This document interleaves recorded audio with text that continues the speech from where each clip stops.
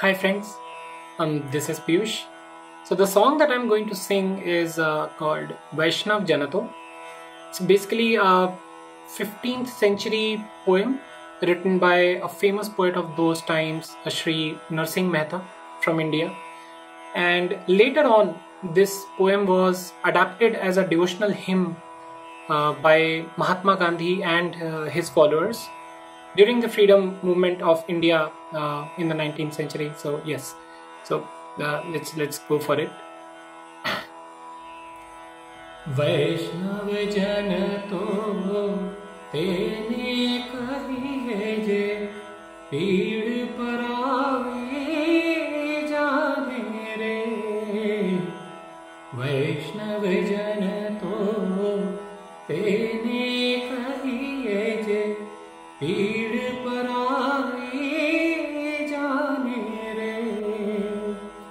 पर दुखे उपकार करे कोई। पर दुखे उपकार करे कोई।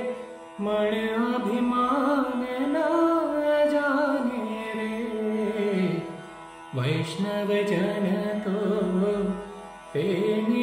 कहिए जे। सकल लोक सधुना वंदे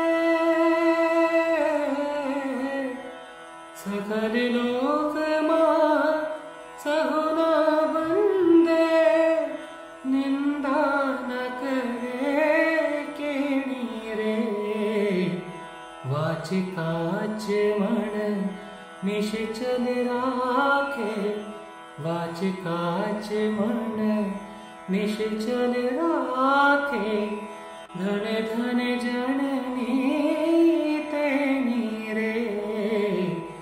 વૈષ્ણવ જન તો તેને કહીએ છે પીડ પર આવી જાણી રે. વૈષ્ણવ જન તો તેને કહીએ છે આ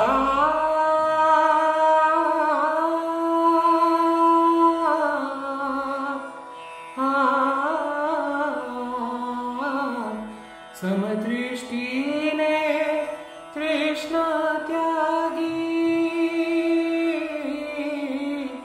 समदृष्टिने तृष्णा त्यागी परस्त्री जेने मातारे जिह्वा था किया सत्य न बोले।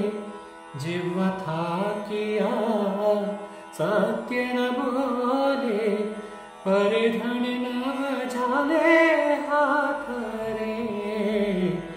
वैष्णव जन तो तेने कहिए जे, पीड़ परावे जाने रे। पर दुखे उद्धार करे कोई, पर दुखे उद्धार थार करे कोई मन अभिमान न जाने रे। वैष्णव जन तो तेने तेन कहेजे वैष्णव जन तो तेने तेन कहेजे पीड़ पराए